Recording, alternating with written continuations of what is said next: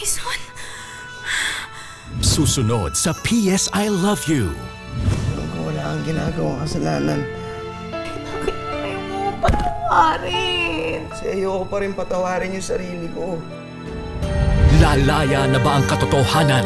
Gusto mo kong kausapin tungkol sa anak ko. Tulungan mo ko.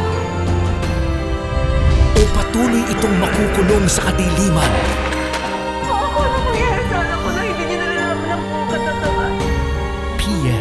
I Love You. Mamaya pagkatapos ng Glamorosa sa TV5.